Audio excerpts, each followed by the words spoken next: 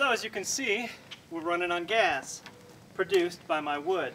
The second I take it away, the gas stalls. Let's see if I can start it again.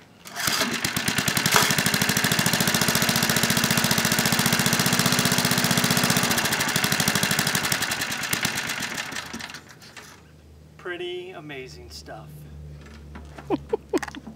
running an engine. Now, of course, we're running an experiment on the lawnmower. You obviously can't run a lawnmower on gas. It'd be kind of hard to move it around the, the old front yard. But imagine this was a generator producing electricity off of wood chips, off of this. Pretty exciting. Let's see if it starts up one more time.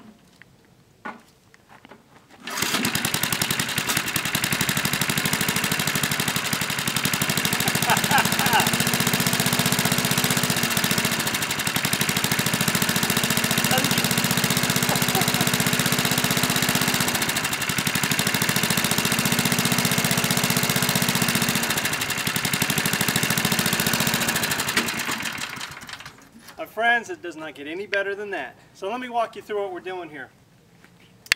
I have a large 50, 30 gallon, whatever it is, container here. In this container, I fill it up full of wood, just any wood, scrap, scrap lumber, anything, anything will burn, cardboard, whatever. And inside of here, resting, is a propane tank. The propane tank has a smaller propane tank attached to it that goes out to this, um, um, Dryer can't even think what it is, a dryer vent. On the top is a little screw. I have a hole that uh, lets you feed the wood in and then it seals. And it goes in here, gets cleaned a little bit through my little filter, which is just wood chips, but it filters it a little bit. And as you can see, it's leaking like crazy, but I'm still getting enough gas out.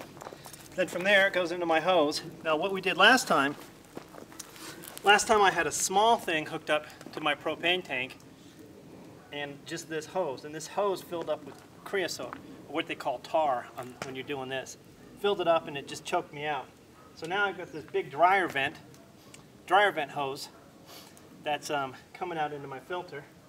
And even with it leaking like crazy, and the fire is barely burning now, and even so, it's still producing this smoke that um, runs an engine. Let's see if it starts up again.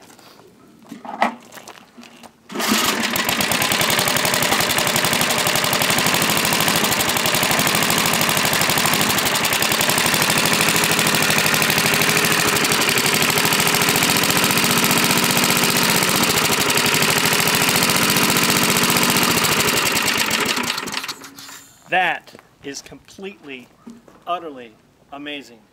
Wood, just wood, burnt hot enough, breaks down chemically and produces a flammable gas.